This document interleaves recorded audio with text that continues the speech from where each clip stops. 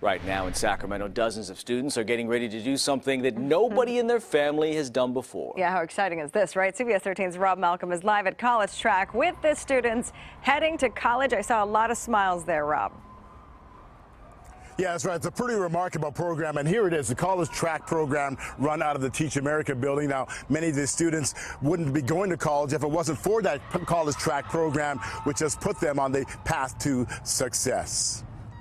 Now, the 10 year program helps the kids through ninth grade to college, and it removes the financial and emotional burdens for these low income families and students. And to celebrate this afternoon, they walked from Estes Park to where we are now at the college track building, where they will be announcing what school they will be attending. I have nine siblings, and they all look up to me and follow right behind me. So it's important that I go to college and finish strong so that they can do the same. So there you have it, Stefani Robinson, just one of the many students which are the first in their generation to graduate and go to college. So ahead of 10, we'll talk to more of these students and their families and share more of their success stories. Guys.